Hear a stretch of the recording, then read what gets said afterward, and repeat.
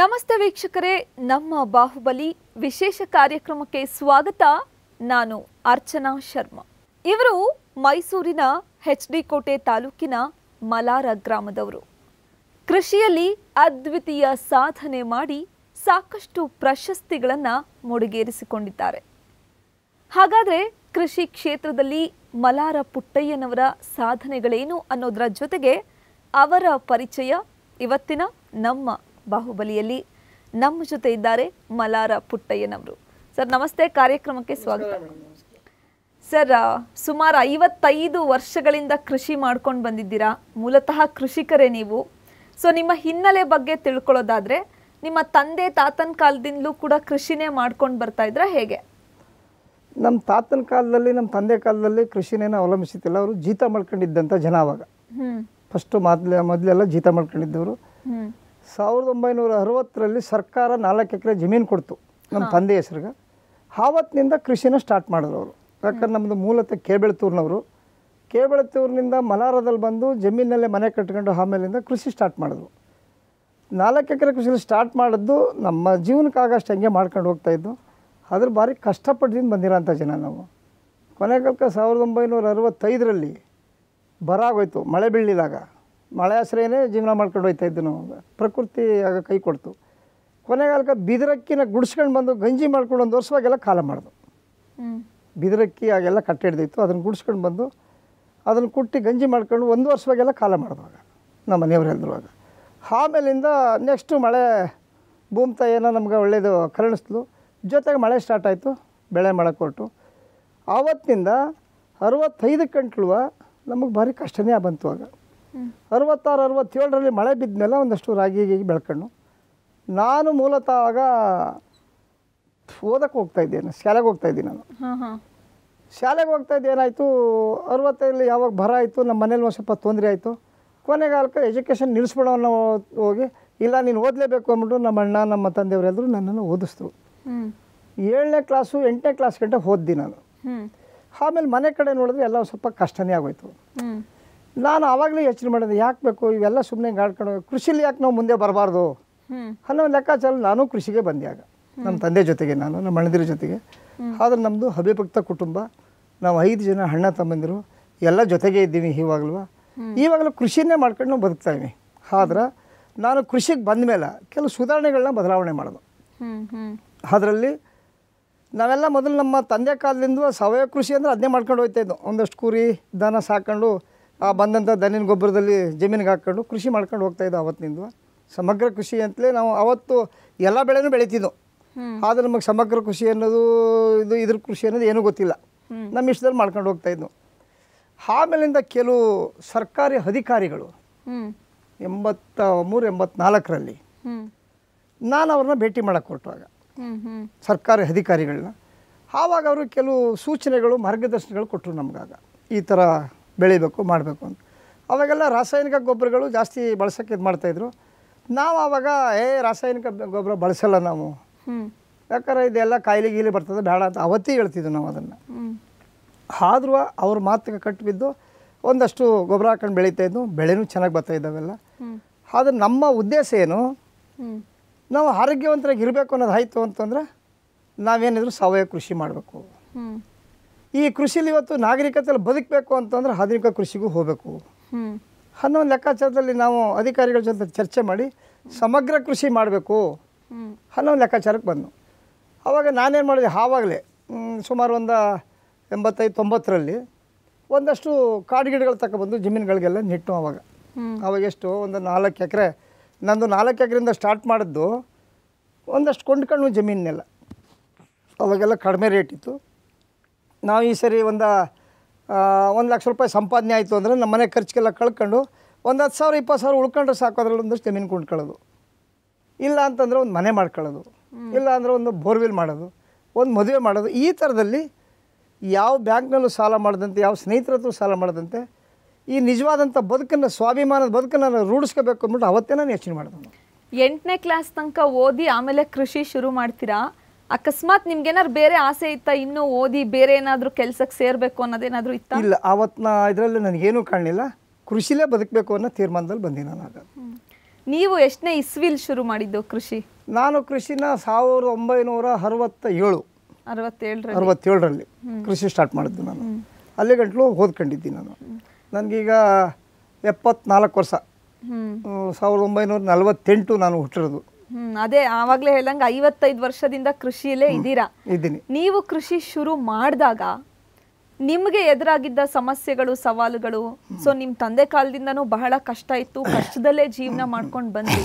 ನೀವು ಕೃಷಿ ಶುರು ಮಾಡಿದ ಮೇಲೆ ನೀವೇನೆಲ್ಲ ಸಮಸ್ಯೆಗಳು ಸವಾಲುಗಳನ್ನ ಎದುರಿಸ್ಬೇಕಾಗಿ ನಾನು ಕೃಷಿ ಸ್ಟಾರ್ಟ್ ಮಾಡಿದ್ಮೇಲೆ ಮಳೆ ಆಶ್ರಯ ಬಿಟ್ರಿ ಇನ್ನೇನು ಇಲ್ಲ ಆಗ. ಆದ್ರೆ ಇವತ್ತು ಈ ನಾಗರಿಕ ಸಮಾಜದಲ್ಲಿ ನಾವು ಬರಬೇಕು ಅನ್ನೋದಾಯಿತು ಅಂತಂದ್ರೆ ನೀರಾವರಿ ಬೇಕು. ನಮ್ಮಲ್ಲೆಲ್ಲೂ ನೀರಾವರಿಗಳಿಲ್ಲ ಆಗ. ಓಕೆ. ಬೋರ್ ಇಲ್ಲ ಬಾವಿಗಳಿಲ್ಲ ಇಲ್ಲ ನಾಲೆ ಇಲ್ಲ ಯಾವುದೇನೂ ಇಲ್ಲ ಆಗ. ಹ್ಮ್ ಹ್ಮ್. ಆಮೇಲಿಂದ ಈ ಹೆಬ್ಬಳ್ಳ ನಾಲೆ ಅನ್ನೋದೊಂದು ನಾಲೆ ಬಂತು ಅದರಲ್ಲಿ. ಒಂದು ಸ್ವಲ್ಪ ಅದರಲ್ಲಿ ನೀರಾವರಿ ಇತ್ತು. ಆದ್ರೆ ಏನಂದ್ರೆ ಕೆರೆಗೆ ಮಳೆ ಹೋದ್ರೆ ಡ್ಯಾಮಿಗೆ ನೀರು ಇಲ್ಲ ನೀರಿಲ್ಲ ಅದು. ಅದು ಅರ್ಧಂಬರ್ಧ ಆಗೋಯ್ತು ಕೊನೆಗಾಲಕ್ಕೆ ನಾನು ಆವಾಗ ಈ ತೋಡು ಬಾವಿಗಳು ತೋಡಿಸ್ತೀವಿ ಒಂದು ಎರಡು ಮೂರು ಬಾವಿಗಳನ್ನ. ಕಬ್ಲೆ ಬಾವಿಗಳು ಅಂತ. ಆಮೇಲೆ ಆ ಬಾವಿಗೆ ಕರೆಂಟ್ ಇಲ್ಲ ಡೀಸೆಲ್ ಮೋಟ್ರ್ ಇಟ್ಕೊಂಡು ಫಸ್ಟು ಸ್ಟಾರ್ಟಿಂಗ್ನಲ್ಲಿ ಈ ತೆಂಗು ಬಾಳೆ ಅರಿಶಿನ ಈ ಬೆಳೆನ ಬೆಳೆ ಕೊಟ್ಟುವಾಗ ಆಗ ಕಮರ್ಷಿಯಲ್ ಆಗಿ. ಆಹಾರ ಧಾನ್ಯಕ್ಕೆಲ್ಲ ಬೆಳ್ಕೊತಾ ಇದ್ದು. ಆಮೇಲೆ ನಾವು ಸ್ವಲ್ಪ ಜೀವನ ಸುಧಾರಿಸ್ತು. ಸುಧಾರಿಸಿದ ಮೇಲೆ ಒಂದಷ್ಟು ಜಮೀನು ಕೊಂಡ್ಕೊಂಡು ಜೊತೆಗೆ ಎಲ್ಲ ಜಮೀನುಗಳಿಗೂ ಬೋರ್ ಹಾಕಿಸ್ತು. ಇವತ್ತು ನಂದು ಎಂಟು ಬೋರ್ಗಳಿದೆ. ಟೋಟಲಾಗಿ ಬೋರ್ವೆಲ್ಗಳು ಎಂಟಿದೆ. ಸ್ವಂತವಾಗಿ ಮಾಡಿಸ್ಕೊಂಡಿರೋದು. ಜೊತೆಗೆ ಏನಂತಂದ್ರೆ ಈ ಬಾವಿಗಳೆಲ್ಲ ನೀರು ಹೊಂಟೈತಿ ಈಗ. ಈ ಬೋರ್ವೆಲ್ನಲ್ಲಿ ಇವಾಗ ನಾನು ತರಕಾರಿ ಬೆಳಿತೀನಿ ದ್ವಿದಳ ಧಾನ್ಯಗಳು ಬೆಳಿತೀನಿ ಎಣ್ಣೆಕಾಳು ಬೆಳಿತೀನಿ ಕಮರ್ಷಿಯಲ್ಲೂ ಬೆಳಿತೀನಿ. ಜೊತೆಗೆ ಒಂದು ಆರು ಎಕರೆ ಮಾತ್ರ ಇದು ಅರಣ್ಯ ಮಾಡಿಬಿಟ್ಟಿದ್ದೀನಿ ಈಗ ಅದನ್ನು. ನನ್ನ ಜೀವನ ಉಪಯೋಗಕ್ಕಾಗಿ ನಾನು ಬದುಕಬೇಕಾದ್ರೆ ಈ ನಾಗರಿಕ ಸಮಾಜದಲ್ಲಿ ನಾನು ಎಲ್ಲರ ಜೊತೆಗೂ ನಾನು ಇರಬೇಕು ಅನ್ನೋದಾಯಿತು ಅಂತಂದ್ರೆ ನಾನು ಕೆಲವು ಯೋಜನೆಗಳನ್ನ ಹಾಕ್ಕೊಂಡಿದ್ದೀನಿ ಹ್ಮ್. ಆ ಯೋಜನೆಗಳಲ್ಲಿ ಒಂದನೇದು ಡೈಲಿ ದುಡ್ಡು ಬರಬೇಕು ನನಗೆ ಹಾಲು. ಎರಡನೇದು ವಾರಕ್ಕೊಂದ್ಸತಿ ದುಡ್ಡು ಬರಬೇಕು ತರಕಾರಿ. ಮೂರನೇದು ತಿಂಗಳಿಗೊಂದ್ಸಲ ದುಡ್ಡು ಬರಬೇಕು ರೇಷ್ಮೆ. ನಾಲ್ಕನೇದು ತೆಂಗು. ಮೂರು ತಿಂಗಳಿಗೊಂದ್ಸಲ ದುಡ್ಡು ಬರಬೇಕು ತೆಂಗು. ಇನ್ನು ಐದನೇದಾಗಿ ವರ್ಷಕ್ಕೊಂದ್ಸರಿ ದುಡ್ಡು ಬರಬೇಕು. ಅದು ಅರ್ಶಿನ ಶುಂಠಿ ಕಬ್ಬು. ಇನ್ನು ದ್ವಿದಳ ಧಾನ್ಯಗಳೆಲ್ಲ ನನ್ನ ಮನೆಗಾಗಷ್ಟೆಲ್ಲ ನಾನೇ ಬೆಳ್ಕತ್ತೀನಿ ನಾನು ಅಂಗಡೀಲಿ ಯಾವಾಗಲೂ ನನಗೆ ಬೇಕಾದ ಕೊಂಡ್ಕೊಳ್ಳೋದು ಅಂತಂದ್ರೆ ಉಪ್ಪು ಕೊಂಡ್ಕೊತೀನಿ ಬೇಕೇ ಬೇಕು ನನಗದು? ಸೋಪ್ ಕೊಂಡ್ಕೊತೀನಿ ಟೀ ಪುಡಿ ಕೊಂಡ್ಕೊತೀನಿ. ಇನ್ನು ಬಾಕಿ ಎಲ್ಲ ಪೂರ್ಣವಾಗಿ ನಾನೇ ತಯಾರು ಮಾಡ್ಕೊತೀನಿ. ನನ್ನ ಮನೆಗೆ ಆಗ ಅಂತೀನಿ ನಾನು ಎಲ್ಲೂ ಹೋಗಿ ಬ್ಯಾಗ್ ಇಟ್ಕೊಂಡು ನಾನು ಇನ್ನೊಂದು ಅಂಗಡೀಲಿ ಹೋಗಿ ನಿಂತ್ಕೊಳ್ಳಂತೀವನಲ್ಲ ಇದು ನಂದು ಸ್ವಾಭಿಮಾನದ ಬದುಕು ಸ್ವಾವಲಂಬನೆಯ ಜೀವನ. ಇದು ನಾನು ಎಲ್ಲ ರೈತರಿಗೂ ಇದನ್ನೇ ಹೇಳ್ತಾ ಇದ್ದೀನಿ. ರೈತ ಸ್ವಾಭಿಮಾನವಾಗಿ ಬದುಕಬೇಕು ಅನ್ನೋದು ಆಯಿತು ಅಂದ್ರೆ ನಮ್ಮ ಕಾಲ ಮೇಲೆ ನಾವು ನಿಂತ್ಕೋಬೇಕು. ಗೊಬ್ಬರಕ್ಕೆ ನಾವು ಇನ್ನೊಬ್ಬರ ಮೇಲೆ ಡಿಪೆಂಡ್ ಆಗಬಾರ್ದು. ಔಷಧಿಗೆ ಇನ್ನೊಬ್ಬರ ಮೇಲೆ ಡಿಪೆಂಡ್ ಆಗಬಾರ್ದು. ಬಿತ್ತನೆ ಬೀಜಕ್ಕೆ ಡಿಪೆಂಡ್ ಆಗಬಾರ್ದು. ಲೇಬರ್ ಇಲ್ಲ ಅಂತ ಡಿಪೆಂಡ್ ಆಗಬಾರ್ದು. ಅಭಿಭಕ್ತ ಕುಟುಂಬ ಇರೋಂಥವ್ರ ಮನೆ ಯಾವಾಗಲೂ ನೆಮ್ಮದಿ ಆದಂಥ ಕುಟುಂಬ ಅದು. ಕೃಷಿನೇ ಮಾಡಲಿ ಅವರು. ಕೃಷಿಲಿ ಈಗ ನಾನು ನಾವು ಉದಾಹರಣೆಗೆ ನಾನೇ. ಈಗ ಯಾವುದೇ ಥರದ ಯಾವುದೇ ಒಂದು ಬ್ಯಾಂಕ್ ಮೇಲೆ ಒಂದು ರೂಪಾಯಿ ಸಾಲ ತಗೊಂಡಿಲ್ಲ ನಾನು. ಸಾಲ ತಗೊಂಡಿಲ್ಲ. ಅಲ್ಲ ಸಾಕಷ್ಟು ಜನ ಕೃಷಿ ಮಾಡೋರು ವ್ಯವಸಾಯ ಮಾಡೋರು ನಮ್ಮ ರೈತರಿಗೆಲ್ಲರಿಗೂ ಅದೇ ಸಮಸ್ಯೆ. ಸಾಕಷ್ಟು ಜನಕ್ಕೆ ಕಾಡೋದೇ ಈ ಸಾಲ ಬಾಧೆ. ಆದರೆ ನಿಮ್ಮ ವೃತ್ತಿ ಜೀವನದಲ್ಲೇ ನೀವು ಸಾಲ ತಗೊಂಡಿಲ್ಲ ಅಂತ ಹೇಳ್ತಿದ್ದೀರಲ್ಲ ಬಹಳ ದೊಡ್ಡ ವಿಚಾರ. ಹೇಗೆ ಸಾಧ್ಯ ಅನ್ನೋದು? ಅಲ್ಲಲ್ಲ ಸಾಧ್ಯ ಅಂತಂದ್ರೆ ನಮ್ದು ಏನು ಅಂತಂದ್ರೆ ರೈತ ಯಾವಾಗಲೂ ಹಾಸಿಗೆ ಇದ್ದಷ್ಟು ಕಾಲು ಚಾಚ ಅಂತ ಒಂದು ರೀತಿನ ಕಲ್ತ್ಕೋಬೇಕಾದ ಒಂದು ಜವಾಬ್ದಾರಿ ಇದು ಅವ ಗುರಿ ಮುಟ್ಟಬೇಕಾದ್ರೆ ಅವ್ನ ಜವಾಬ್ದಾರಿ ಬೇಕು ಅವನಿಗೆ. ಅವ್ನ ಜವಾಬ್ದಾರಿ ಇರೋದು ಗುರಿ ಮುಟ್ಟಕ್ಕಾಗಲ್ಲ. ಅವನ ಯೋಜನೆಗಳು ಪಕ್ಕ ಇರಬೇಕು. ಇವಾಗ ಒಂದು ಹತ್ತು ಎಕರೆ ಜಮೀನಿದೆ ಅಂತ ಅಂದ್ಬಿಟ್ಟು ಎರಡೂವರೆ ಇಂಚ್ ನೀವು ಎರಡು ಇಂಚ್ ನೀರು ಬಂದಿತ್ತು ಹತ್ತು ಎಕರೆಗೂ ನಾನು ಕಬ್ಬು ಹಾಕ್ತೀನಿ ಅನ್ನೋದು ಆಯಿತು ಅಂದರೆ ಅಲ್ಲಿ ರೈತ ಎಡುಬಿದ್ದ ಹ್ಮ್. ಯಾಕಂದ್ರೆ ಹತ್ತು ಎಕರೆಗೆ ನೀರು ಆಗಲ್ಲ ಅದು. ಆವಾಗ ಏನು ಮಾಡಿದ್ರೆ ಬ್ಯಾಂಕಲ್ಲಿ ಸಾಲ ಸಿಕ್ಕುತ್ತೆ ಅಂದ್ಬಿಟ್ಟು ತೆಗೆದುಬಿಟ್ಟು ಅಲ್ಲಿ ಕಬ್ಬು ಬೆಳೀನಿಲ್ಲ ಅನ್ನೋದು ಆಯಿತು ಅಂತಂದ್ರೆ ಕೊನೆಗಾಲಕ್ಕೆ ಅಲ್ಲಿ ಸಾಲನೂ ತೀರ್ಸೋಕ್ಕಾಗಲ್ಲ. ಇಲ್ಲಿ ಬೆಳೆನೂ ಬೆಳೆಯೋಕ್ಕಾಗಲಿಲ್ಲ ನೀರಿಲ್ಲ. ಆಮೇಲೆ ಏನು ಮಾಡ್ತಾನೆ ಇನ್ನು ಬ್ಯಾಂಕ್ನವ್ರು ಸಾಲ ಕೇಳ್ತಾರಲ್ಲ ಸ್ನೇಹಿತರು ಸಾಲ ಕೇಳ್ತಾರಲ್ಲ ಅಂದ್ಬಿಟ್ಟು ಆತ್ಮಹತ್ಯೆ ದಾರಿ ಹಿಡಬೇಕಾಗುತ್ತೆ. ಯಾಕಂದ್ರೆ ಸ್ವಾಭಿಮಾನಿ ಆ ಒಂದು ದೃಷ್ಟಿಯಿಂದ ನಾವು ಮಾಡುವಾಗಲೇ ಯೋಜನೆಗಳು ಚೆನ್ನಾಗಿರ್ಬೇಕು ನಮ್ಗೆ. ಯೋಜನೆಗಳು ಚೆನ್ನಾಗಿ ನಮ್ಮ ಬದುಕನ್ನು ರೂಪಿಸ್ಕೊಳ್ಬೇಕು ಅಂದ್ಕೊಂಡು ಹೊರಟಾಗ ನಾವು ಕರಾರುವಕ್ಕಾದಂಥ ಯೋಜನೆಗಳು ಮಾಡಬೇಕು. ಮುಂದೆ ನಮ್ಗೆ ಇಲ್ಲಿ ಎಲ್ಲಿ ನಮ್ಗೆ ರೇಟ್ ಸಿಕ್ಕುತ್ತೆ ಯಾವ ತಿಂಗಳಲ್ಲಿ ನಾವು ಬೆಳೆ ಹಾಕಬೇಕು ಯಾವ ತಿಂಗಳಲ್ಲಿ ನಾವು ಉಳುಮೆ ಮಾಡಬೇಕು ಯಾವ ತಿಂಗಳಲ್ಲಿ ಬೀಜ ಹಾಕಬೇಕು ಅನ್ನೋದೊಂದು ನಾವು ಪಕ್ಕ ನಮ್ಮಲ್ಲಿ ಇರಬೇಕು ಒಬ್ಬ ರೈತನಾದವನಿಗೆ. ಅವನಿಗೆ ಯಾರೋ ಹೇಳಿದ್ರು ಅಂದ್ಬಿಟ್ಟು ಅವ್ರ ಮಾತಿನ ಮೇಲೆ ಮಾಡೋದಲ್ಲ. ಆದರೆ ಈಗ ಸರ್ಕಾರ ಕೆಲವು ಅಧಿಕಾರಿಗಳನ್ನ ನೇಮಿಸಿದ್ದಾರೆ. ಅವರು ಕೆಲವು ನಮ್ಗೆ ಸಲಹೆಗಳನ್ನೂ ಕೊಡ್ತಾರೆ. ಸಲಹೆಗಳನ್ನೂ ತಗೋಬೇಕು. ಸರಿ ಇದ್ರೆ ಸರಿ ಸರಿ ಇಲ್ವಾ? ನಮ್ಮದೇ ಆದಂಥ ರೂಟ್ಗಳಿದೆ. ರೈತ ಅವನ ಬದುಕನ್ನು ರೂಪಿಸ್ಕೊಳ್ಳೋಕೆ ಬೇಕಾದಷ್ಟು ರೂಟ್ಗಳಿದೆ. ಅವನೇ ಕಂಡ್ಕೊಂಡಿದ್ದಾನೆ ಅದನ್ನು. ನಾನು ಆವತ್ತಿನಿಂದ ಈ ಸರ್ಕಾರಗಳು ಯಾವುದೇ ಥರದ ಸಲಹೆಗಳು ಕೊಡ್ತಿರಲಿಲ್ಲ. ಅವತ್ತಿಂದ ಕೃಷಿ ಮಾಡ್ಕೊಂಡು ಬಂದಿರೋರು. ನಾವು ರಾಗಿ ಬೆಳಿಬೇಕಾಗಲಿ ಜೋಳ ಬೆಳಿಬೇಕಾಗಲಿ ಮೊದಲು ಹಕ್ಕಡಿಯ ಸಾಲಾಗಿ ನಾವು ಕಡ್ಗಳು ಬಿಟ್ಕೊತಿದ್ವಿ ನಾವು ನವಣೆ ಇರ್ಬೋದು ಸಾಮೆ ಇರ್ಬೋದು ಕಮ್ಮಿ ಇರ್ಬೋದು. ಈಗೇನು ಸಿರಿಧಾನ್ಯಗಳು ಅಂತ ಹೇಳ್ತಾರೆ ಅದನ್ನೆಲ್ಲ ಅವತ್ತಿಂದ ಬೆಳೀತಾ ಇದ್ವಿ ನಾವು. ಈಗ ನಾವು ಸಾವಯವ ಕೃಷಿ ಮಾಡ್ತೇವನಲ್ಲ ನಾನು. ನನ್ನ ಮನೇಲಿ ಸಾಕಾಗಷ್ಟು ಕುರಿಗಳಿದೆ ಒಂದು ಇನ್ನೂರೈವತ್ತು ಕುರಿಗಳಿದೆ ಹಸುಗಳಿದೆ ದನಗಳಿದೆ ಆಡುಗಳಿದೆ ಇಷ್ಟೆಲ್ಲ ಇದ್ಕೊಂಡು ನನಗೆ ಸಾಕಾಗಷ್ಟು ಗೊಬ್ಬರ ಆಗುತ್ತೆ. ಇದೇ ಗೊಬ್ಬರ ನನ್ನ ಭೂಮಿಗೆ ಆಗ್ತು ಅಂತಂದ್ರೆ ಉತ್ತಮವಾದಂಥ ಬೆಳೆ ಬರ್ತದೆ. ಆದ್ರೆ ರೋಗರಹಿತವಾದಂಥ ಪದಾರ್ಥಗಳು ಬೆಳಿತೀನಿ ನಾನು.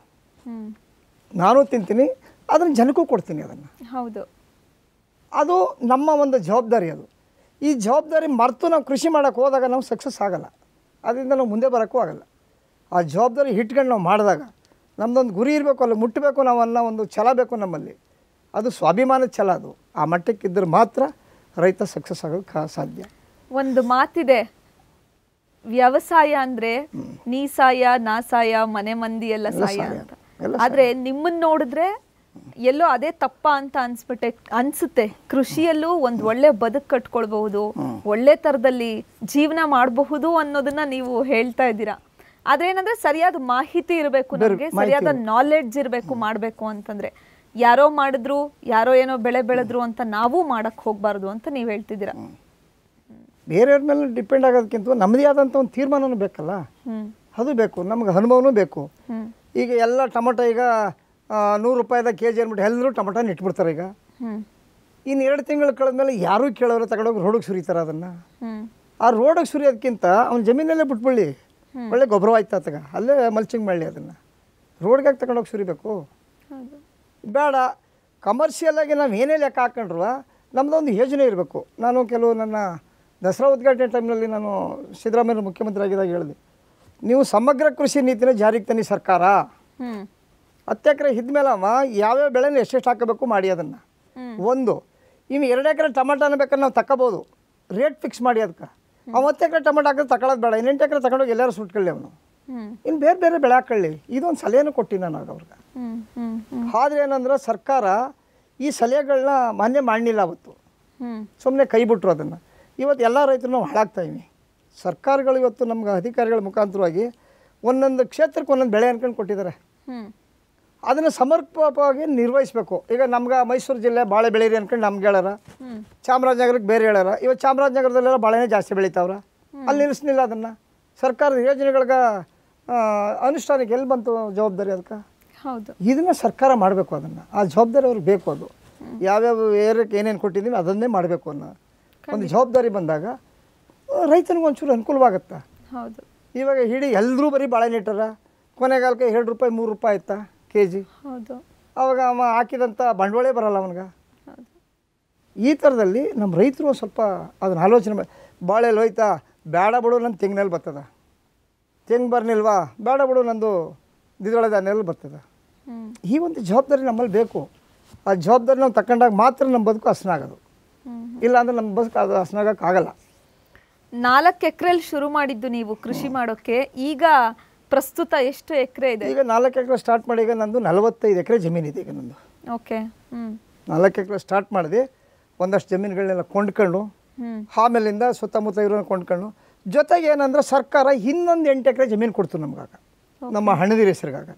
ಇವೆಲ್ಲ ಸೇರಿಸಿ ಒಟ್ಟಿಗೆ ನಲವತ್ತೈದು ಎಕರೆ ಜಮೀನಿದೆ ಇವತ್ತು. ಹ್ಮ್. ಈ ನಲವತ್ತೈದು ಎಕರೆ ಜಮೀನಿನಲ್ಲಿ ನಾನು ಅದನ್ನು ವಿಂಗಡಣೆ ಮಾಡಿದ್ದೀನಿ. ಯಾವುದು? ಜೀರೋ ಕಲ್ಟಿವೇಷನ್ನು ಇದ್ರ ಕೃಷಿ ಮಾಡ್ತೀನಲ್ಲ ಈಗ. ಜೀರೋ ಕಲ್ಟಿವೇಷನ್ಗೆ ನಾನು ಆಹಾರ್ಯ ಇದೆ ಅದು ಅರಣ್ಯ ಕೃಷಿ ಮಾಡೀನಿ ಅದನ್ನು. ಸೋಷಿಯಲ್ ಫಾರೆಸ್ಟು ಅರಣ್ಯ ಕೃಷಿ ಮಾಡೀನಿ. ಸಾವಯವ ಕೃಷಿ. ಇದರಲ್ಲಿ ನಾನು ಒಂದು ಇಪ್ಪತ್ತೈದು ಎಕರೆ ಇಟ್ಕೊಂಡಿದ್ದೀನಿ ಅದಕ್ಕೆ. ಸಾವಯವ ಕೃಷಿಗಾಗಿ. ಆಹಾರ ಧಾನ್ಯಗಳು ಎಣ್ಣೆಕಾಳುಗಳು ಇದು ಬೆಳೆ.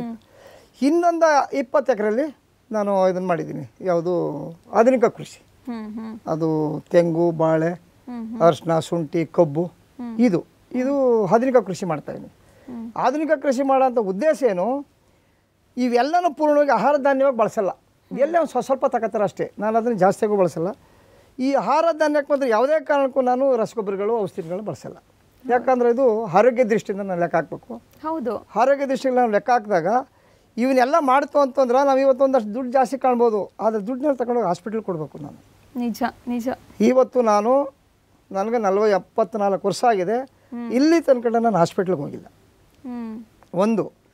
ನನ್ನ ಈ ನಲ್ವತ್ತು ಜನ ನನ್ನ ಮನೇಲಿದ್ದಾರಲ್ಲ ಇವ್ರಿಗೆ ಟೋಟಲಿ ನಾನು ಬಡ್ಜೆಟ್ನಲ್ಲಿ ಆರೋಗ್ಯ ಬಡ್ಜೆಟ್ನಲ್ಲಿ ಇಪ್ಪತ್ತೈದರಿಂದ ಮೂವತ್ತು ಸಾವಿರ ರೂಪಾಯಿ ಆಗ್ಬೋದು ಅಷ್ಟೇ ನನ್ನ ಎಲ್ಲರ ಖರ್ಚು.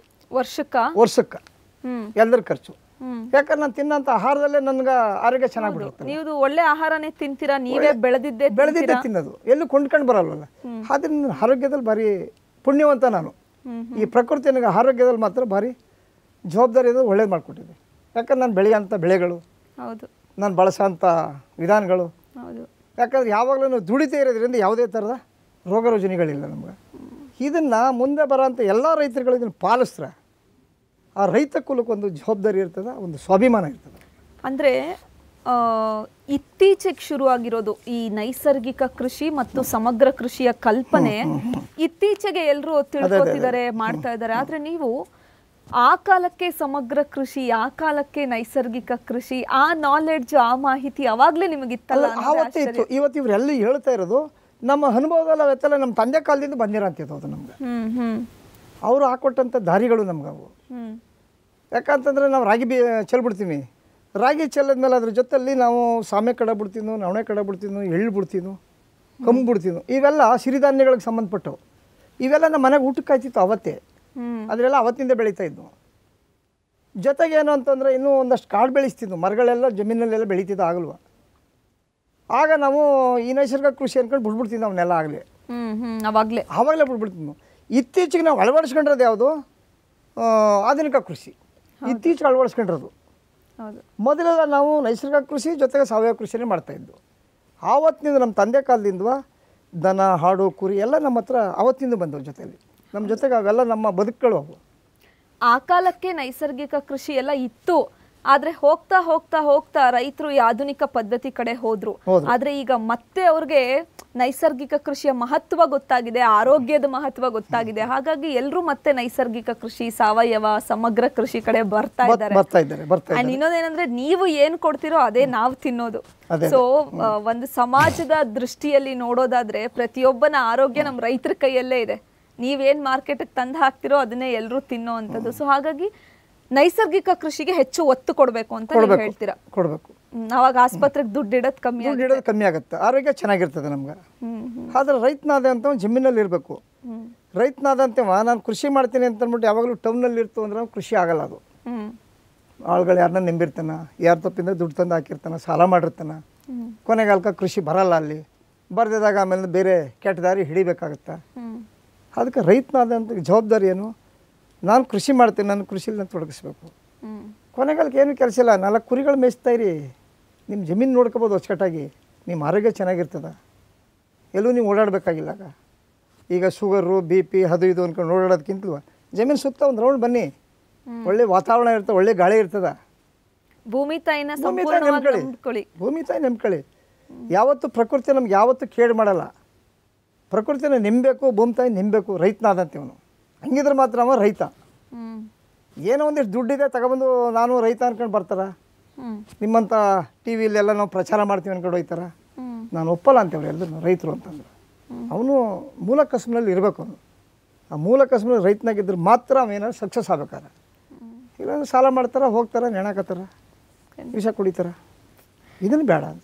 ಇನ್ನೊಂದು ಖುಷಿ ಆಗೋದಂದ್ರೆ ನೀವು ಈ ವಯಸ್ಸಲ್ಲೂ ಕೂಡ ಎಲ್ಲ ಕೆಲಸಗಳನ್ನು ನೀವೇ ಮಾಡ್ಕೊಳ್ತೀರಾ? ಗೊಬ್ಬರ ತಯಾರು ಮಾಡ್ಕೊಳ್ಳೋದಾಗಿರ್ಬೋದು ಬೀಜಗಳನ್ನು ತಯಾರು ಮಾಡೋದಾಗಿರ್ಬೋದು. ಆಮೇಲೆ ಯಾರು ಕೂಡ ಕೂಲಿ ಆಳುಗಳು ಬಂದು ನಿಮ್ಮ ಜಮೀನಲ್ಲಿ ಕೆಲಸ ಮಾಡಲ್ಲ. ನಿಮ್ಮ ಮನೆಯವರೇ ಎಲ್ಲರೂ ಸೇರಿ ಪ್ರತಿಯೊಂದು ಕೆಲಸನೂ ಹಂಚ್ಕೊಂಡು ಕೆಲಸ ಮಾಡ್ತೀರಾ? ಅದ್ರ ಬಗ್ಗೆ. ಅಲ್ಲ ಅದರಲ್ಲಿ ಏನು ಅಂತಂದ್ರೆ ನಮ್ಮದು ಗೊಬ್ಬರ ಎಲ್ಲ ನಮ್ಮದೇ ತಯಾರು ಮಾಡ್ಕೊತೀನಿ. ಯಾಕಂದ್ರೆ ನಾನು ದನ ಕುರಿ ಹಾಡು ಎಲ್ಲ ಸಾಕಿದ್ಮೇಲೆ ಅದ್ರ ಗೊಬ್ಬರ ಶೇಖರಣೆ ಮಾಡೇ ಮಾಡಲೇಬೇಕು. ಡೈಲಿ ಅದನ್ನು ಕ್ಲೀನ್ ಮಾಡಲೇಬೇಕು ಮಾಡಲೇಬೇಕು ಅದನ್ನು. ಜೊತೆಗೆ ಏನು ಅಂತಂದ್ರೆ, ಈ ಹಾಳು ಕಾಳಿನ ಮೇಲೆ ನಾವು ಡಿಪೆಂಡ್ ಆಯಿತು ಅಂದ್ರೆ ಕೃಷಿ ಮಾಡೋಕ್ಕಾಗಲ್ಲ.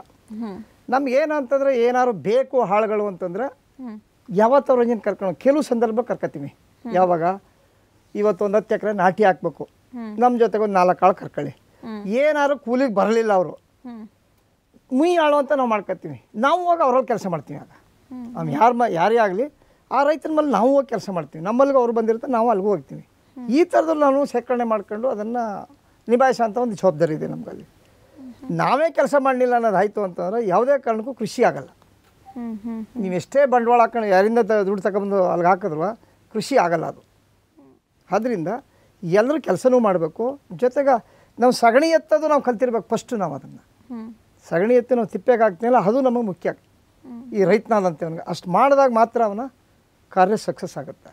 ನಮ್ಮ ಅಪ್ಪ ಹೇಳ್ತಿರೋ ಮೊದಲೊಂದು ಕೃಷಿ ಮಾಡುವಾಗ ಕೃಷಿಕ ಒಬ್ಬ ವ್ಯವಸಾಯಗಾರ ಒಬ್ಬ ಜಮೀನ್ದಾರ ಅಂತಂದ್ರೆ ಏನಾದರೂ ನನ್ನ ಮನೆಗಿಂತ ಸಾಮಾನಿಲ್ಲ ಅಂದ್ಬಿಟ್ಟು ಬ್ಯಾಗ್ ಹಿಡ್ಕೊಂಡಿರೋ ಅಂಗಡಿಗೆ ಹೋಯ್ತು ಅಂತಂದ್ರೆ ನಾವು ಪಾಪರಾದ ಅಂತ ಅಲ್ಲ ಬ್ಯಾಗ್ ಹಿಡ್ಕೊಂಡು ಅಂಗಡಿ ಹತ್ರಕ್ಕೆ ಹೋದ್ರೆ ಏನೋ ಸಾಮಾನು ತರಕ ಅಂದ್ರೆ ಅವ ಪಾಪರಾದ ಅವನ ಹತ್ರ ಏನೂ ಇಲ್ಲ. ಅನ್ನೋ ಒಂದು ಲೆಕ್ಕಾಚಾರ ಇತ್ತು ಆಗ.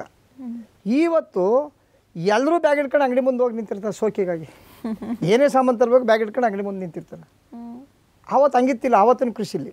ಎಲ್ಲ ಮನೇಲೇ ಮಾಡ್ಕೊತಿರು ಮನೇಲೆ ಬೆಳ್ಕೊತಿರು ಯಾರು ಹೋಗಿ ಬ್ಯಾಗ್ ಹಿಡ್ಕೊಂಡು ಅಂಗಡಿ ಮುಂದೆ ಹೋಗಿರ್ತಿರ್ಲಿಲ್ಲ ಸಂತೆ ಮುಂದಕ್ಕೆ ಹೋಗಿರ್ತಿರ್ಲಿಲ್ಲ ಆಗ. ತರಕಾರಿ ಆದಿಯಾಗ ಅವರೇ ಬೆಳ್ಕೊತಿರು ಆ ಒಂದು ಇದು ಎಲ್ಲ ರೈತರಲ್ಲೂ ಬರಬೇಕು ಅದು. ಎಲ್ಲ ರೈತರಲ್ಲೂ ಬಂದಾಗ ಮಾತ್ರ ಅವ್ರ ಬದುಕು ಸುಧಾರಿಸ್ತದೆ. ಕೃಷಿ ಜೊತೆಗೆ ಹೈನುಗಾರಿಕೆನೂ ಮಾಡ್ಕೊಂಡಿದ್ದೀರಾ? ಏನೆಲ್ಲ ಸಾಕೊಂಡಿದ್ದೀರಾ ಏನೆಲ್ಲ ಇದೆ? ಹೈನುಗಾರಿಕೆಯಲ್ಲಿ ನಂದೇನು ಅಂತಂದ್ರೆ ಕೆಲವು ನಾಟಿ ಹಸುಗಳಿದೆ. ಕೆಲವು ಹೊಸ್ದಾಗಿ ಬಂದಿರೋಂಥ ಹಿರಾತಿಯಸ್ಗಳು ಇದೆ ನನ್ನ ಹತ್ರ ಈಗ. ಓಕೆ ಹಾಂ. ಅದು ಹೈನುಗಾರಿಕೆಯಲ್ಲಿ ನಾನು ಡೈಲಿ ಬೆಳಿಗ್ಗೆ ಸಾಯಂಕಾಲ ಒಂದು ಮೂವತ್ತು ಲೀಟ್ರ್ ಹಾಲು ಹಾಕ್ತೀನಿ ಈಗ ನಾನು. ಓಕೆ ನನ್ನ ಮನೆಗೆ ಬಳಸ್ಕೊಂಡು ಉತ್ತಮವಾದಂಥ ಹಾಲನ್ನು ನನ್ನ ಮನೆಗೆ ಬಳಸ್ಕೊಂಡು ಡೈರಿಗೂ ಹಾಕ್ತೀನಿ ನಾನು. ಅದ್ರ ಜೊತೆಗೆ ನಂದು ಒಂದು ಇನ್ನೂರೈವತ್ತು ಕುರಿಗಳಿದೆ. ಓಕೆ. ಕುರಿಗಳು ನಾನೇನಂದ್ರೆ ವರ್ಷಕ್ಕೊಂದ್ಸರಿ ಕುರಿಗಳು ಮಾರೋದು ನಾನು. ವರ್ಷಕ್ಕೊಂದ್ಸರಿ ನನಗೆ ಒಂದೂವರೆ ಲಕ್ಷ ಎರಡು ಲಕ್ಷ ರೂಪಾಯಿ ದುಡ್ಡು ಬರ್ತದೆ ಅದರಿಂದ ಕುರಿಗಳಿಂದ. ಈ ಗೊಬ್ಬರ ಇದೆಯಲ್ಲ ಇದೊಂದು ಎರಡು ಮೂರು ಲಕ್ಷ ರೂಪಾಯಿ ಗೊಬ್ಬರವೇ ಆಯ್ತು ನನಗೆ ಅದು. ಇದು ನನ್ನ ಜಮೀನಿಗೆ ಆಗುತ್ತೆ ಇದು ಈ ಗೊಬ್ಬರ. ಜೊತೆಗೆ ಹಾಡುಗಳಿದೆ. ಈಗ ಮನೆಗೆ ಬೇಕು ಒಂದಷ್ಟು ಕೋಳಿನೂ ಸಾಕೊಂಡಿರ್ತೀನಿ. ಇವೆಲ್ಲ ರೈತನ ಬದುಕುಗಳು. ರೈತನ ಮನೆ ಕಾಯಕ್ಕೆ ಒಂದು ನಾಯಿ ಬೇಕು ರೈತರ ಮನೇಲಿ ಒಂದು ಬೆಕ್ಕು ಬೇಕು. ಯಾಕೆ ಇವೆಲ್ಲ ರೈತನ ಬದುಕು ರೈತನ ರಕ್ಷಣೆ ಮಾಡೋಕ್ಕಾಗಿ. ಹೌದು. ಇವೆಲ್ಲ ಸಾಕೊಂಡಿರ್ತೀವಿ ನಾವೀಗ. ಹೌದು. ಅಂದ್ರೆ ಕೃಷಿ ಜೊತೆ ಹೈನುಗಾರಿಕೆನ ಅಳವಡಿಸ್ಕೊಳ್ಳೋದು ತುಂಬಾ ಒಳ್ಳೆ. ಒಂಥರ ಸೈಡ್ ಬಿಸ್ನೆಸ್ ಇದ್ದ ಹೈನುಗಾರಿಕೆ ಇಲ್ಲ ಅಂತ ನಾವು ಕೃಷಿಕನೇ ಅಲ್ಲ. ಯಾಕಂದ್ರೆ ಅವ್ನು ಗೊಬ್ಬರ ಆಗಲ್ವಲ್ಲ ಅಲ್ಲಿ. ನಿಜ. ಹಾಲು ಹಾಕೋದಕ್ಕಿಂತಲೂ ಅವ್ನು ಗೊಬ್ಬರ ಮುಖ್ಯ ಅಲ್ಲಿ. ಹೌದು. ಅವನ ಜಮೀನು ಉತ್ತಮವಾಗಿ ಇರಬೇಕು ಅನ್ನೋದು ಆಯಿತು ಅಂತಂದ್ರೆ ಹೈನುಗಾರಿಕೆ ಇರಬೇಕು. ಹಂಗಿದ್ರೆ ಮಾತ್ರ ಅವನು ಕೃಷಿ ಮಾಡಬೇಕು. ಇಲ್ಲ ಅಂದ್ರೆ ಕೃಷಿ ಮಾಡೋದು ಬೇಡ ಅವರು. ಬಟ್ ಖುಷಿ ಆಗುತ್ತೆ. ನಿಮ್ಮನ್ನ ನೋಡಿ ಸಾಕಷ್ಟು ಜನ ಬದಲಾಗಿದ್ದಾರೆ ನಿಮ್ಮ ಊರ್ ಕಡೆ. ನಿಮ್ಮನ್ನ ಅನುಸರಿಸ್ತಿರೋರು ಬಹಳಷ್ಟು ಜನ ಇದ್ದಾರೆ. ನಮ್ಮ ಊರಿನಲ್ಲೇ ನಾವು ಲೆಕ್ಕ ಆಗ್ತು ಅಂತಂದ್ರೆ ಸುಮಾರು ಒಂದು ನಮ್ಮೂರಲ್ಲಿ ಒಂದು ನೂರು ನೂರೈವತ್ತು ಕುಟುಂಬಗಳಿವೆ ಈ ನೂರೈವತ್ತು ಕುಟುಂಬದಲ್ಲಿ ಒಂದು ಎಪ್ಪತ್ತೆಂಬತ್ತು ಜನ ಕೃಷಿ ಮಾಡೋಂಥವ್ರು ಇನ್ನು ಬಾಕಿ ಅವ್ರು ಕೂಲಿ ಮಾಡೋಂಥವ್ರು ಆದ್ರೆ ಯಾರು ಸರ್ಕಾರಿ ನೌಕರು ಅವರು ಇವ್ರು ಯಾರೂ ಇಲ್ಲ ಅಲ್ಲಿ ಜಾಸ್ತಿಯಾಗಿ ಈ ಎಪ್ಪತ್ತೆಂಬತ್ತು ಜನದಲ್ಲಿ ಎಲ್ಲರೂ ಇದನ್ನು ಪೂರ್ಣವಾಗಿ ನನ್ನ ಒಂದು ದಾರಿಲಿ ಅನುಸರಿಸ್ಕೊಂಡು ಎಲ್ಲರೂ ಸಮಗ್ರ ಕೃಷಿನೇ ಮಾಡ್ತಾರೆ. ಎಲ್ಲರೂ ಮಲ್ಲು, ಹಾಡು ಕುರಿ ದನ ಎಲ್ಲ ಇಟ್ಕೊಂಡಿರ್ತಾರೆ. ಜೊತೆಗೆ ಕೃಷಿನೂ ಹಂಗೆ ಮಾಡ್ಕೊಂಡು ಹೋಗ್ತಾವ್ರೆ.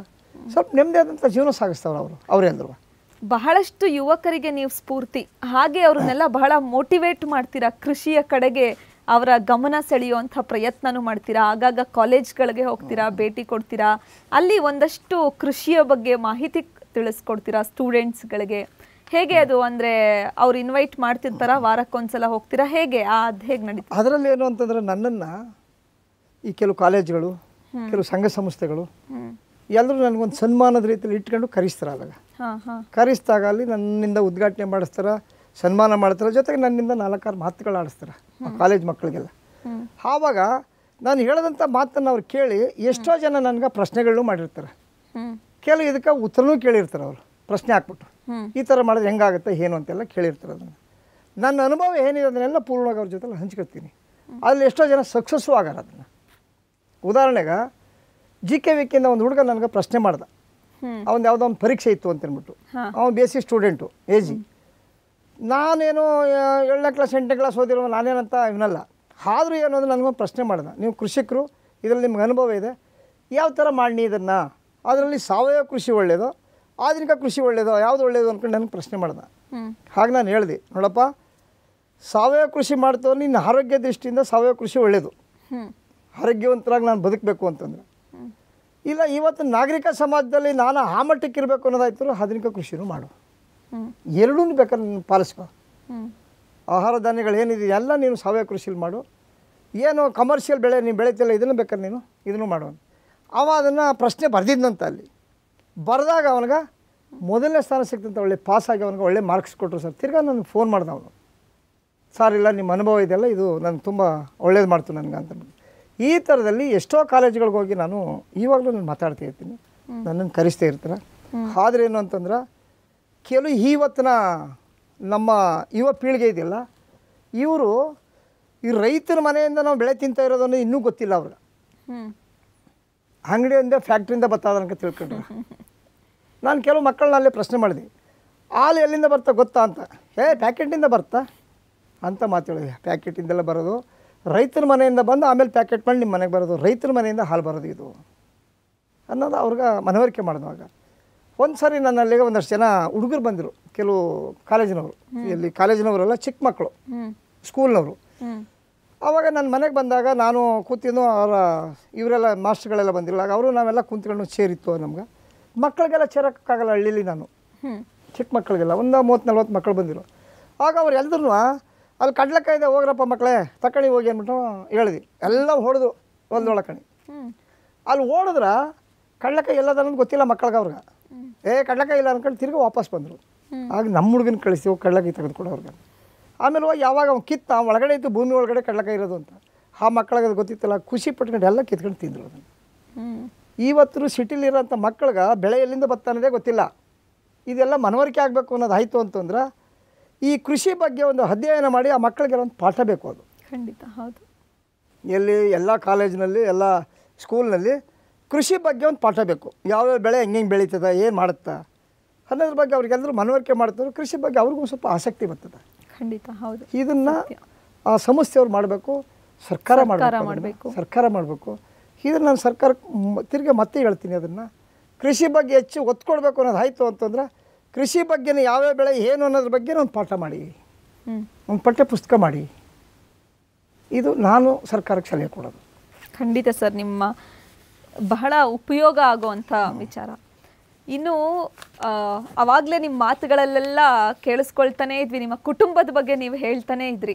ಬಹಳ ಖುಷಿ ಆಗುತ್ತೆ. ಅವಿಭಕ್ತ ಕುಟುಂಬ ನಿಮ್ಮದು ಅನ್ನುವಂಥದ್ದು. ಎಷ್ಟು ಜನ ಇದ್ದೀರಾ ಮನೆಯಲ್ಲಿ ಈಗ ನಮ್ಮ ತಂದೆಗೆ ನಾವು ಐದು ಜನ ಮಕ್ಕಳು. ಅದರಲ್ಲಿ ನಾನು ಗಂಡು ಮಗನಲ್ಲಿ ನಾಲ್ಕನೇವನು. ಹೆಣ್ಣು ಮಕ್ಕಳೆಲ್ಲ ಸೇರಿಸ್ಕೊಂಡ್ರೆ ಆರನೇವನು. ಅದರಲ್ಲಿ ನಾವು ಐದು ಜನಕ್ಕೂ ಮದುವೆಯಾಗಿ ಐದು ಜನಕ್ಕೂ ಮಕ್ಕಳಿದೆ. ಓಕೆ. ನಮ್ಮ ಮನೆಯಲ್ಲಿ ಈ ಐದು ಜನ ಮಕ್ಕಳಿಂದ ನಾವು ಸೇರ್ಸ್ಕತ್ತು ಅಂದ್ರೆ ನಮ್ಮ ಮೊಮ್ಮಕ್ಕಳು ನಮ್ಮ ಸೊಸೆಂದಿರು ನಮ್ಮ ಮಕ್ಕಳು. ಇವರೆಲ್ಲರೂ ನಾವು ಸೇರಿಸ್ಕೊಂಡ್ರೆ ಇವತ್ತು ನಮ್ಮದು ನಲವತ್ತೆರಡು ಜನ ಒಂದು ಕುಟುಂಬದಲ್ಲಿ ನಾವು ನಲವತ್ತೆರಡು ಜನ. ನಲವತ್ತೆರಡು ಜನ. ಆದರೂ ಒಂದೇ ಕುಟುಂಬದಲ್ಲಿ ನಲವತ್ತು ಜನ ಇದ್ದರೂ ಈ ನಲವತ್ತೆರಡು ಜನಕ್ಕೂ ಒಂದೇ ತಪ್ಪು ಅಡುಗೆ ಮಾಡೋದು. ಅಡುಗೆ ಒಂದೇ ತಪ್ಪು. ಮಲಗಕ್ಕೆ ಮಾತ್ರ ಬೇರೆ ಬೇರೆ ಮನೆಗಳಿವೆ.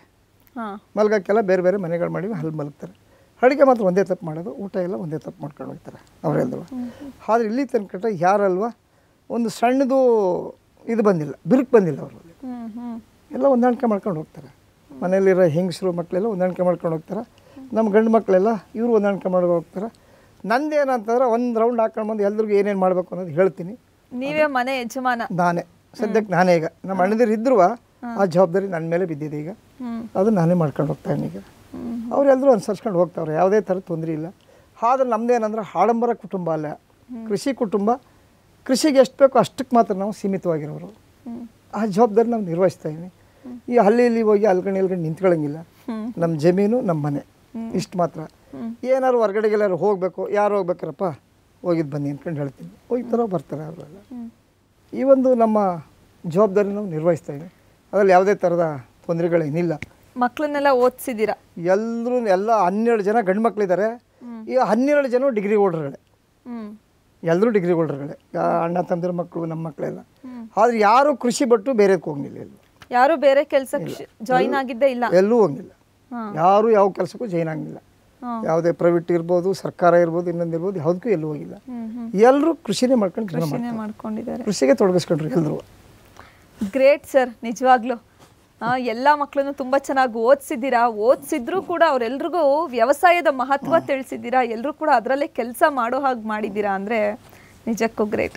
ಇನ್ನೊಂದು ಪುಟ್ಟಯ್ಯನವ್ರ ಬಗ್ಗೆ ಬಹಳ ಹೆಮ್ಮೆಯಿಂದ ಹೇಳ್ಕೊಳ್ಬೇಕು ಒಂದು ವಿಚಾರ ಅನ್ನೋದಾದ್ರೆ ಎರಡು ಸಾವಿರದ ಹದಿನೈದರಲ್ಲಿ ನಮ್ಮ ಹೆಮ್ಮೆಯ ಮೈಸೂರಿನ ದಸರಾ ಉದ್ಘಾಟಕರಾಗಿ ಆಯ್ಕೆಯಾಗಿದ್ರು. ಇವರೇ ಮೊದಲ ಕೃಷಿಕ. ಮೈಸೂರು ದಸರಾ ಉದ್ಘಾಟನೆ ಮಾಡಿರುವಂತದ್ದು ಹಿಂದೆಯೂ ಯಾರು ಇಲ್ಲ ಇವತ್ತಿನವರೆಗೂ ಯಾರು ಇಲ್ಲ ಯಾರೂ ಇಲ್ಲ. ಸೊ ಅದ್ರ ಬಗ್ಗೆ ಎಷ್ಟು ಖುಷಿ ಇದೆ ಸರ್ ನಿಮ್ಗೆ?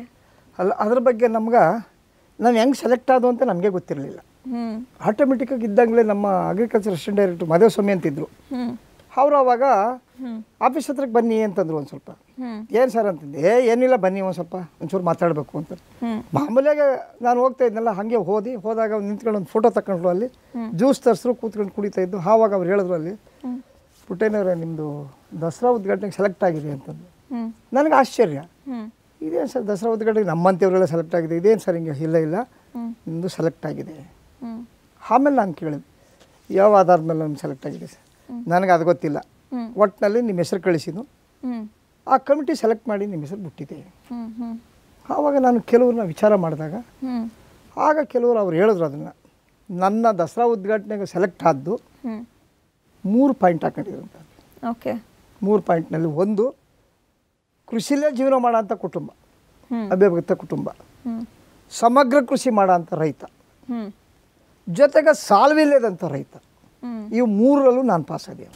ಓಕೆ ಈ ಇದರಿಂದ ನನ್ನನ್ನು ದಸರಾ ಉದ್ಘಾಟನೆ ಮಾಡಿದ್ರು. ಜೊತೆಗೆ ನಮ್ಮ ಜಿಲ್ಲಾಧಿಕಾರಿಯಾಗಿದ್ದಂಥ ಶಿಖಾ ಮೇಡಮ್ ಅವರು ನಮ್ಮ ಮನೆಗೆ ಬಂದರು. ಮನೆಗೆ ಬಂದು ನಮ್ಮನ್ನೆಲ್ಲ ನೋಡಿ ನನ್ನ ವ್ಯವಸ್ಥೆ ಎಲ್ಲ ನೋಡಿ ನನಗೆ ಸನ್ಮಾನ ಮಾಡಿ. ಜೊತೆಗೆ ಅವರು ನನ್ನ ಜಮೀನೆಲ್ಲ ಸುತ್ತ ಹಾಕಿದ್ರು ಆಗ. ನಾನು ಏನೇನು ಬೆಳೆ ಬೆಳೆದೀನಿ ಎಲ್ಲ ನನಗೆ ಮಾಹಿತಿ ಬೇಕು. ಬನ್ನಿ ಅಂತಂದ್ಬಿಟ್ಟು ಎಲ್ಲ ಕರ್ಕೊಂಡೋಗಿ ತೋರಿಸ್ತೀವಿ.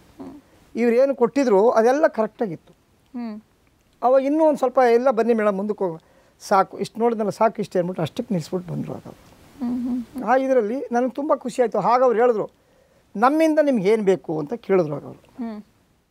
ನನಗೇನು ಬೇಡ. ನಾನು ಪ್ರಕೃತಿ ನಿಮ್ಕೊಂಡು ಬದುಕ್ತಾ ಇರೋನು. ಸರ್ಕಾರವಾಗಲಿ ಇನ್ನೊಂದು ತಪ್ಪಾಗಲಿ ಈಸ್ಕೊಂಡು ಬದುಕಲ್ಲ ನಾನು, ಬೇಡ ನನಗೆ. ಅಂತೇಳಿ ಇಲ್ಲ, ನೀವು ದಸರಾ ಉದ್ಘಾಟನೆ ಮಾಡ್ತಿರಲ್ಲ, ಆವತ್ತಿಗೆ ನಿಮ್ಮ ಜನ ಬರಕ. ಹ್ಮ್ ನಮ್ಮ ಜನ ಬರೋಕ್ಕೆ ನೀವು ವೆಹಿಕಲ್ ಕೊಡಿಬೇಕಾದ್ರೆ ಬರ್ತೀನಿ. ತುಂಬ ಖುಷಿಯಾಗಿದೆ ನಮ್ಗೆ ಅಂತ. ಹಾಗೆ ಒಂದು ನಾಲ್ಕು ಬಸ್ಗಳು ಕಳಿಸ್ಕೊಟ್ಟಿದ್ರು ನಮ್ಗೆ.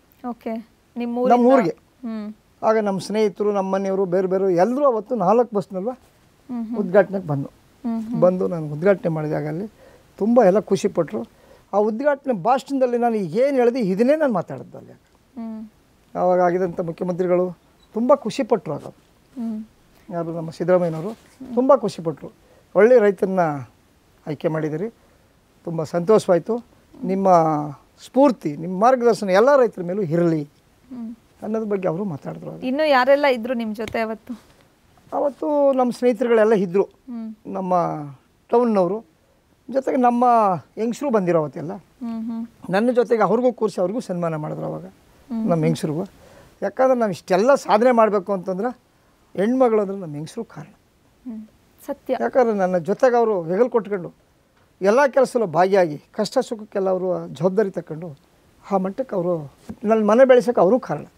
ಖಂಡಿತ ಹೌದು. ನೀವು ಇವತ್ತು ಈ ಮಟ್ಟಕ್ಕಿದ್ದೀರಾ ಅಂದರೆ ಅಂತಂದರೆ ವ್ಯವಸಾಯದಲ್ಲೇ ನಿಮ್ಮನ್ನು ತೊಡಗಿಸ್ಕೊಂಡು ಬಂದಿದ್ದೀರಾ ಅಂತಂದರೆ ನಿಮ್ಮ ಫ್ಯಾಮಿಲಿ ಸಪೋರ್ಟ್ ತುಂಬ ಇಂಪಾರ್ಟೆಂಟ್ ಅದರಲ್ಲಿ ನಮ್ಮ ಹಿರಿಯಣ್ಣ ಹತ್ತಿಗೆ ಇದ್ದರು ಅವರು ಜಾಸ್ತಿಯಾಗಿ ನನ್ನನ್ನು ಭಾರಿ ಬೆಳೆಸ್ತರು ಅವಾಗ ಅವರು. ಯಾಕಂದ್ರೆ ನಮ್ಮ ಹಿರಿಯಣ್ಣ ನಮ್ಮ ಅತ್ತಿಗೆ ಅವರು ಇವತ್ತು ನಾವು ಅವ್ರನ್ನ ದೇವರು ಅಂತ ಇಬ್ಬರು ತೀರ್ಕೊಂಡಿದ್ದಾರೆ ಇವತ್ತು. ಇವತ್ತು ಅವರ ದೇವರು ಅಂತಲೇ ಪೂಜೆ ಮಾಡ್ತೇವೆ ನಾವು. ಅವ್ರನ್ನ ಅವ್ರು ಮಾತ್ರ ಅದೇ ಥರಕ್ಕೆ ಬೆಳೆಸಿದ್ರು ನಮ್ಮನ್ನಾಗ. ಜೊತೆಗೇನು ಅಂತಂದರೆ ಇವ್ರು ಏನೇ ಮಾಡಲಿ ಆ ಜವಾಬ್ದಾರಿ ನಮ್ಮಲ್ಲಿ ಬರಬೇಕು ಅದು. ಆ ಜವಾಬ್ದಾರಿ ಇಲ್ಲ ಅದನ್ನು ಬರೋಕ್ಕಾಗಲ್ಲ. ನಾನು ಎರಡು ಸಾವಿರದ ಹದಿನೈದರಲ್ಲಿ ದಸರಾ ಉದ್ಘಾಟನೆ ಮಾಡಿದೆ. ಎರಡು ಸಾವಿರದ ಹದಿನಾರು ಕನ್ನಡ ರಾಜ್ಯೋತ್ಸವ ಪ್ರಶಸ್ತಿ ಸೆಲೆಕ್ಟ್ ಮಾಡಿದ್ರು. ಎರಡು ಸಾವಿರದ ಹದಿನೇಳು ಕೃಷಿ ಪಂಡಿತ್ ಪ್ರಶಸ್ತಿ ಕೊಟ್ಟರು ಆದ್ರೆ ನಾನು ಎಲ್ಗೂ ಅರ್ಜಿ ಹಾಕ್ದವನಲ್ಲ. ನನಗಿದು ಬೇಕು ಅಂತ ಅರ್ಜಿ ಹಾಕ್ದವನಲ್ಲ. ವಾಲಂಟ್ರಿಗೆ ಅವರೇ ಸೆಲೆಕ್ಟ್ ಮಾಡಿಕೊಟ್ಟಂಥ ಪ್ರಶಸ್ತಿಗಳಿವೆಲ್ಲ. ಇವತ್ತು ಕೆಲವು ಸಂಘ ಸಂಸ್ಥೆಗಳೆಲ್ಲ ಇವತ್ತು ನಾನು ಕರೆದು ಸನ್ಮಾನ ಮಾಡಿ ಪ್ರಶಸ್ತಿಗಳು ಕೊಡ್ತಾರೆ. ಕೆಂಪೇಗೌಡ ಪ್ರಶಸ್ತಿನೂ ಕೊಟ್ಟರು ನನಗೊಂದು ಅದನ್ನು. ಆದರೂ ಏನು ಅಂತಂದ್ರೆ, ನಾನೆಲ್ಲೂ ಅರ್ಜಿ ಹಾಕೊಂಡು ನಾನು ಹಿಂಗೆ ಮಾಡೀನಿ ಅಂದ್ಕೊಂಡು ಹೇಳ್ಕೊಂಡವನು ಅಲ್ಲ. ಅವರೇ ತೀರ್ಮಾನ ತಗೊಂಡಿರ್ತಾರೆ ಕರೀತಾರೆ. ಕರೆದವ್ರಿಗೆ ನಾನು ಯಾರೂ ತಿರಸ್ಕಾರ ಮಾಡಲ್ಲ. ಹೋಗ್ತೀನಿ. ಹೋಗ್ಬಿಟ್ಟು ನನ್ನ ಇರೋಂಥ ಅನುಭವನ ಅವ್ರ ಜೊತೆಗೆ ಹಂಚ್ಕೋತೀನಿ. ಅದರಲ್ಲಿ ಎಷ್ಟೋ ಜನ ನನ್ನಂತೆ ಮಾಡಬೇಕು ಅಂತ ಎಷ್ಟೋ ಜನ ಬಂದಿದ್ದಾರೆ. ನನ್ನ ಜಮೀನಿಗೆಲ್ಲ ಬರ್ತಾರೆ ಎಲ್ಲ ನೋಡ್ತಾರೆ. ನಾವು ಇಷ್ಟೆಲ್ಲ ಬೆಳಿಬೇಕಾದ್ರೆ ನಮ್ಮದು ಮೊದಲೊಂದು ಪ್ರಗತಿಪರರ ಸಂಘ ಅಂತ ಒಂದು ಸಂಘ ಮಾಡಿದ್ದೆ ನಾವು ಮೊದಲು. ಇಲ್ಲಿ ಎಚ್ ಡಿ ಕೋಟೆಯಲ್ಲಿ. ಅಲ್ಲಿಗ ಅಲ್ಲಿಗೆ ಎಲ್ಲ ಈ ಹಾರಿ ಇಲಾಖೆ ಅಧಿಕಾರಿಗಳು ಬರ್ತಿದ್ರು. ಜೊತೆಗೆ ಒಬ್ಬರು ವಿಜ್ಞಾನಿ ಬರ್ತಿದ್ರು. ಜೊತೆಗೆ ನಮ್ಮ ಜಿ ಕೆ ವಿ ಕೆಯಿಂದ ಒಬ್ಬರು ಪ್ರೊಫೆಸರ್ ಬರ್ತಿದ್ರು. ನಾವು ಆ ರೈತರ ಮನೆಗೆ ಹೋಗ್ಬಿಟ್ಟು ಆವತ್ತಿನ ಊಟ ಎಲ್ಲ ರೈತಿಂದೇ ಆಗಬೇಕು. ನಾವು ಅಲ್ಲಿ ಇಲ್ಲಿ ಊಟ ತರಿಸ್ತಿದ್ದಿಲ್ಲ ಆ ರೈತನೇ ಊಟಕ್ಕೆ ಹಾಕ್ಬೇಕು ಕಾಲ ಒಂದು ನಲ್ವತ್ತೈವತ್ತು ಜನ ಆಗ್ತೀವಿ ನಾವು. ಅಲ್ಲಿ ಕುಂತ್ಕೊಂಡು ಆ ರೈತ ಏನು ಮಾಡಿದ್ದಾನೆ ಅಂತೆಲ್ಲನೂ ನಾವು ಶೋಧನೆ ಮಾಡ್ತಾ ಇದ್ವಿ ಅಲ್ಲಿ. ಆ ರೈತ ಉತ್ತಮವಾಗಿ ಮಾಡಿದ್ರೆ ನಾವು ಅಳವಡಿಸ್ಕೊತೀವಿ ಅದನ್ನು. ಏನಾರು ರೈತ ಹೇಳಿದ್ರೆ ಇದು ಸರಿ ಇಲ್ಲಪ್ಪ, ಹಿಂಗೆ ಮಾಡ್ಕೊಂಡು ಅಲ್ಲೇ ಸಲಹೆನೂ ಕೊಡ್ತೀವಿ. ಇದು ಅವತ್ತಿಂದ ನಮ್ಮಲ್ಲಿ ಬೆಳಕ ಬಂತು. ತಾಲೂಕು ಅಧಿಕಾರಿಗಳಿದ್ದಾರಲ್ಲ, ಈ ಅಧಿಕಾರಿಗಳು ನಮಗೆ ತುಂಬ ಬೆಂತಟ್ಟಿ ಅದನ್ನು ಮುಂದೆ ತರಕ ಸಹಕರಿಸಿದ್ರು ಹಾಗೆಲ್ಲ ಎಲ್ಲ ಇಲಾಖೆ ಅಧಿಕಾರಿಗಳು ಅದು agriculture horticulture sericulture animal husbandry fishery ಈ ಸಾಮಾಜಿಕ ಕಾರ್ಯ ಇವರೆಲ್ಲರೂ ನಮ್ಮ ತಾಕಕ್ಕೆ ಬರ್ತಿರೋವಾಗ ಆರು ಇಲಾಖೆಯವ್ರು ನನ್ನ ಜೊತೆ ಸಂಪರ್ಕ ಇವತ್ತು ಸಂಪರ್ಕದಲ್ಲಿದ್ದಾರೆ ಈಗ ಅವ್ರು. ಇವತ್ತು ಬರ್ತಾರೆ ಹೋಗ್ತಾರೆ. ಸರ್ ಇನ್ನು ಕೊನೆಯದಾಗಿ ವ್ಯವಸಾಯ ಕೃಷಿ ಅಂತ ಅಂದ್ರೇನೆ ಕಷ್ಟ ನಷ್ಟ ಅಂತ ಅಂದ್ಕೊಂಡಿರೋರಿಗೆ ಆ ಕಲ್ಪನೆ ಇರೋರಿಗೆ ಏನು ಹೇಳ್ತೀರಾ? ವ್ಯವಸಾಯ ನಷ್ಟ ಕಷ್ಟ ಅನ್ಕೊಂಡು ಅಂದ್ಕೊಂಡಿರೋರು ಯಾವತ್ತು ಅದನ್ನೆಲ್ಲ ಬಿಡಬೇಕು. ಯಾಕಂದ್ರೆ ಬೇಸಾಯ ಮಾಡ್ತೀನಿ ಅಂದ್ಕೊಂಡವರು ನಮ್ಮ ತೀರ್ಮಾನ ತಗೊಂಡು ಬಂದ ಮೇಲೆ ಭೂಮಿತಾಯನ ಭೂಮಿ ತಾಯಿನ ಪೂರ್ಣವಾಗಿ ನೆಮ್ಮಬೇಕು ಪ್ರಕೃತಿನ ನೆಮ್ಕೋಬೇಕು ಅವರು. ಜೊತೆಗೆ ಏನು ಅಂತಂದ್ರೆ ನಮ್ಮಲ್ಲಿ ಏನಿದೆ ಇಷ್ಟರಲ್ಲಿ ಮಾತ್ರ ನಾವು ಬೇಸಾಯ ಮಾಡ್ಕೊಂಡು ಹೋಗ್ಬೇಕು. ಇಲ್ಲದನ್ನೆಲ್ಲ ಅದು ಯಾರೋ ಕೇರಳದಿಂದ ಬಂದವರು ಯಾವುದೋ ದುಡ್ಡು ತಗೊಬಂದು ಹಾಕ್ಬಿಟ್ಟು ಈ ಥರ ಮಾಡೋದ್ರೆ ನಾವು ಆ ಥರ ಮಾಡೋಕ್ಕೆ ಹೋಗಬಾರ್ದು. ರೈತ ಯಾವಾಗಲೂ ಹಾಸಿಗೆ ಇದ್ದಷ್ಟು ಕಾಲು ಚಾಚ್ಕೋಬೇಕು. ಅದು ನಮ್ಮ ಜವಾಬ್ದಾರಿ. ಆ ದುಡ್ಡಿರೋರು ಏನೋ ಮಾಡ್ತಾರೆ, ನಾವು ಆ ಮಟ್ಟಕ್ಕೆ ಮಾಡಕ್ಕೆ ಹೋಗ್ತೀವಿ ಅಂದರೆ ಜಮೀನು ಮಾರ್ಬಿಡ್ಬೇಕಾಗುತ್ತೆ, ನಾವು ಕೃಷಿ ಬಿಟ್ಟು ಬೇರೆ ಹೋಗ್ಬೇಕಾಗುತ್ತೆ. ನಮ್ಗೆ ಎಷ್ಟಾಗುತ್ತೆ ಅಷ್ಟು. ಇಷ್ಟನ್ನು ಮಾಡ್ಕೊಂಡು ನಾವು ಒಂದು ಸ್ವಲ್ಪ ಸ್ವಲ್ಪ ಒಂದೊಂದು ಮೆಟ್ಲಾಗಿ ಮೇಲೆ ಬರೋದಾಯಿತು ಅಂತಂದ್ರೆ ಕೃಷಿ ಜೀವನ ತುಂಬ ಸುಖವಾದಂಥ ಜೀವನ. ಆದ್ರೆ ಏನಂದ್ರೆ ಸ್ವಾಭಿಮಾನದ ಬದುಕು, ಸ್ವಾವಲಂಬನೆಯ ಜೀವನ. ಇನ್ನೊಬ್ಬರ ಮೇಲೆ ಡಿಪೆಂಡ್ ಆಗಿಲ್ಲ, ನಾವು ಯಾರ ಕಾಲ ಮೇಲೆ ನಿಂತು ನಮ್ಮ ಕಾಲ ಮೇಲೆ ನಾವು ನಿಂತೀವಿ. ಎಷ್ಟು ಬೇಕು ಅಷ್ಟೇ ಮಾಡ್ಕೊಂಡು ಹೋಗೋ. ಯಾಕೆ ಇನ್ನೊಬ್ರ ಕಾಲ ಮೇಲೆ ನಿಂತ್ಕೋಬೇಕು, ಇನ್ನೊಬ್ರಿಗೆ ಹೋಗ್ಬೇಕು? ರಾಜಕೀಯದವ್ರು ಅವರಿಂದ ಯಾಕೆ ನಾವು ಓಡಬೇಕು? ಅವ್ರೇನೋ ಇವತ್ತು ಒಂದು ಅಷ್ಟ ಇಷ್ಟ ಕೊಡ್ತಾರೆ ಅಂದ್ಬಿಟ್ಟು ಅದಕ್ಕಾಗಿ ನಾವು ಹಿಂದೆ ತಿರ್ಗೋದಾಯ್ತು ಅಂತಂದ್ರೆ ನಮ್ಮ ಕೃಷಿ ಹಾಳಾಗುತ್ತೆ ಇಲ್ಲಿ. ನಮ್ಮ ಬದುಕು ಹಾಳಾಯ್ತವ. ನಮ್ಮ ಪದಾರ್ಥಗಳು ನೋಡೋರಿಲ್ಲ ಇಲ್ಲಿ ನಮ್ಮ ಜನ ಜಾನುವಾರುಗಳು ನೋಡೋರಿಲ್ಲ ಇಲ್ಲಿ.